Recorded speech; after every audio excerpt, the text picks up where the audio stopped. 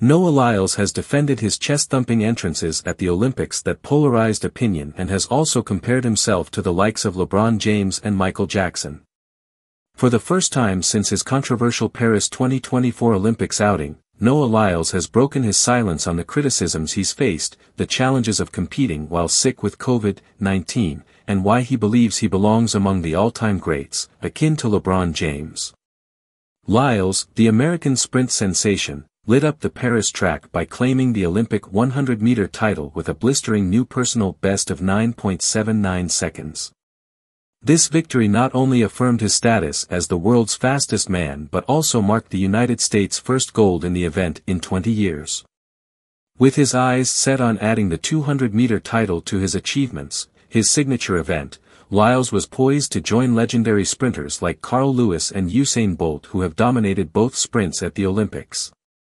In an exclusive interview with Reuters, the 27-year-old world champion addressed the backlash, comparing his situation to that of iconic figures in sports and entertainment. If you throw yourself out there, there's always going to be critics. I mean, you can look at anybody in history, Lyles remarked. You can look at LeBron James, one of the greatest basketball players, you can look at Michael Jordan, Michael Jackson, anybody who you want to say is great. There's always going to be love, and there's always going to be hate because people are going to form opinions, because you're now so high up there that they can't see you as everyday people of everyday society. Lyles acknowledged that such scrutiny comes with the territory of greatness, adding, and I knew that going into that, and that's just what it is, but I'm very confident in myself to say no matter what anybody says, I know who I am. On the decision to compete in the 200-meter final despite his illness, Lyles explained the mental battle he had to overcome. That's why people are like, well, if you were sick, why did you go out there and jump around?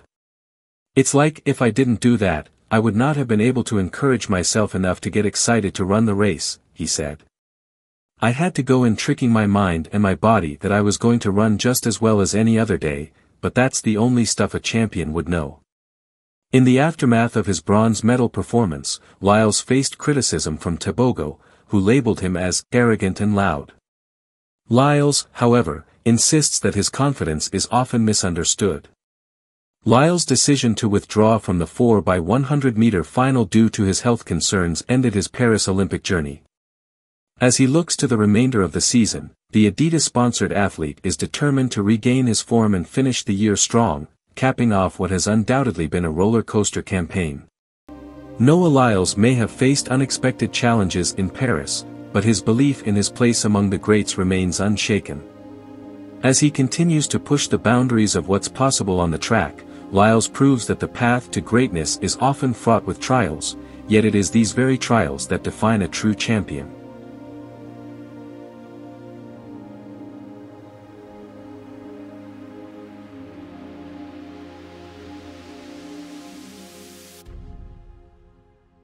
I can feel it.